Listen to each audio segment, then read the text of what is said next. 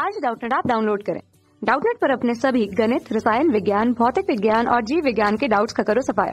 बस प्रश्न की फ़ोटो खींचो, एक ही प्रश्न को क्रॉप करो और तुरंत वीडियो सोल्यूशन पाओ। अभी डाउनलोड करें।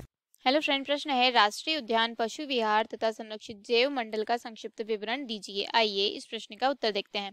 ठीक है तो सबसे पहले हम देखते हैं राष्ट्रीय उद्यान के बारे में संक्षिप्त विवरण। राष्ट्रीय उद्यान क्या होता है?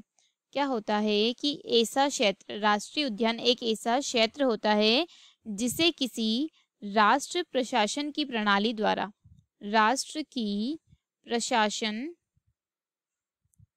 प्रणाली के द्वारा, प्रणाली द्वारा औपचारिक रूप से क्या किया जाता है, उसको संरक्षित कराया जाता है। क्या किया जाता है? औपचारिक रूप से संरक्षित कराया जाता है।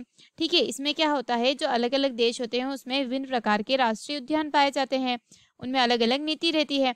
ठीक है तो इसमें क्या होता है? सभी क्षेत्र में जो वन्य जीवन को क्या किया जाता है? वन्य जीवन को संरक्षित किया जाता है। उसमें रहने वाले जीवों की देखरेख करी जाती है। ठीक है, और उनका ध्यान रखा जाता है। अब हम बात करते हैं पशु विहार की। क्या बात करते हैं? पशु विहार की। तो पशु विहार भी एक ऐसा क्षेत्र होता है, जहाँ पर क्या किया जाता है, जो पशु रहते हैं, उनकी देखभाल करी जाती है। क्या करी जाती है उनकी? देखभाल, उनकी देखरेख करी जाती है, उनके आहार, भोजन तथा उनका क्या किया जाता है? उनको मतलब कि चिकित्सक की भी व्यवस्था करी जाती है। यानी कि यहाँ पर क्या किया जाता है? जो पशु रहते हैं, उनको संरक्षित रखा जाता है। ठीक है? और यह कैसा रहता है? एक वन विहार जैसा रहता है। मतलब कि इसमें क्या करते हैं? मानव की भी भागीदारी होती है। ठीक है? अब हम बात करते हैं जो संरक्षित जैव मंडल है। किसकी बात करते हैं? जो संरक्षित जैव मंडल है। ठीक है? संरक्षित जैव मंडल यानी कि कई स्थानों पर आरक्षित जो जैव मंडल भी कहा जाता है इसे। क्या कहा जाता है? संरक्षित भी कहा जाता है तथा इसे आरक्षित जैव मंडल भी कहा जाता है। जैव मंडल ठीक है? या इसे को क्या कहा जाता है? इसको कहा जाता है बायोस्फीयर रिज़र्व भी कहा जाता है। क्या कहा जाता है इसको? इसको कहा जाता है बायोस्फेयर रिज़र्व। ठीक है? बायोस्फेयर रिज़र्व भी कहा जाता है।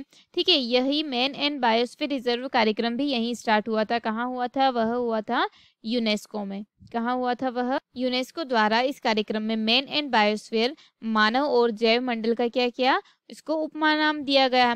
ठीक है, यानी कि यहाँ पर क्या होता है? जो संरक्षित जैव मंडल का विश्व नेटवर्क है। ठीक है, विश्व में 107 देशों में सभी 500 तैतीस संरक्षित जैव मंडलों का संग्रह होता है। ठीक है, यानी कि यह कब तक का है? यह मई 2009 तक का है। इसमें क्या होता है कि यहाँ पर जो बड़े बड़े क्षेत्र होते हैं, उन सभी में क्या होता है कि जो जीव रहते हैं, उनको संरक्षित रखने के लिए क्या होता है?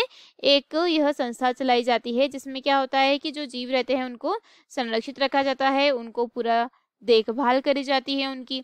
ठीक है तो यह था राष्ट्रीय उद्यान पशु विहार तथा संरक्षित जैव मंडल के बारे में। धन्यवाद दोस्तों, आशा करती हूँ कि आपको इस प्रश्न का उत्तर समझ आया होगा। इस वीडियो को देखने के लिए धन्यवाद।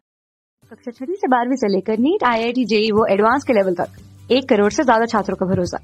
आज ही डाउनलोड करें डाउट नेट ऐप या व्हाट्सअप करें अपने सारे डाउट्स आठ चार सौ चार सौ चार सौ पर।